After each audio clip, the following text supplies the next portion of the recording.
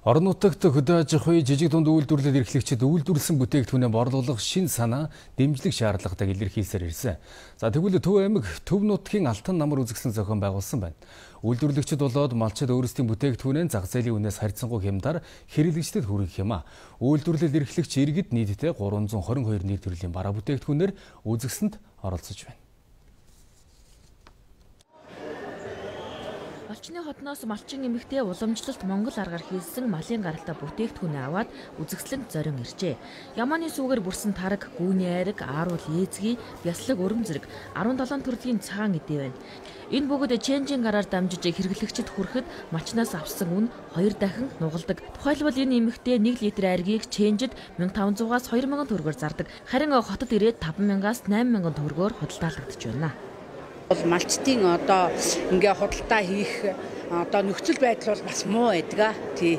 А бид нар бол яг нэг үзэсгэлэн худалдаандаа ирнэ. Тэгэл ер нь голдуу ченжийн гараар ер нь өгдөг л дөө. Ченжүүд бол тэр чинь одоо ингээд цааш нь бол одоо дамлан ингээд зарж байгаа бас малчтын одоо амьдрагаанд бас жоохон тийм таар нөлөө үзүүлдэг л дээ малчид бол шууд гар дээрээсээ бүтээгдэхүүнийг бол одоо ямарваа нэг одоо сав сав баглаа бодоо шийдэж ирч чадахгүйгээр худалдаалж байгаа. Тийм учраас манайх бол тэр баглаа бодлын шийдэж одоо иргэдрийн одоо эрүүл хүнсийг одоо багсалж гаргаж байгаа.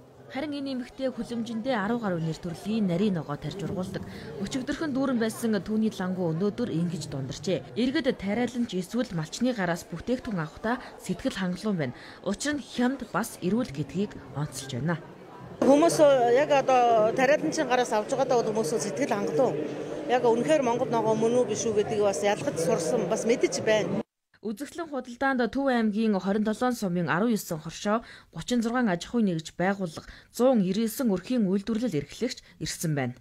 Нэг удаа ирээд юмаа зараад явчихдаг биш. Яаж энэ боломжийг ашиглаад энэ байнгын зах зээлийн хангамж нийлүүлэлт хэрэгцээг холбодог ийм системд өөрснөө баг багаар алхаж ороод явандаа энийг эзэлж авах вэ гэж гэл ийм л асуудал ингээд ажиллаж чадвал ченжүүдээр дамжин хохирчийн дундаас нь алдаж гин гэдэг юмнууд байхгүй болох байхгүй. Хүнсний аюулгүй байдал эрүүл ахуйг чухалчдаг болсон энэ үед олон дамжлаг дамжиж хэрэглэгчид хүрдэг үнийн өсөлтийг тэнгэрт тулгадаг байдлыг багасгах шаардлагатай.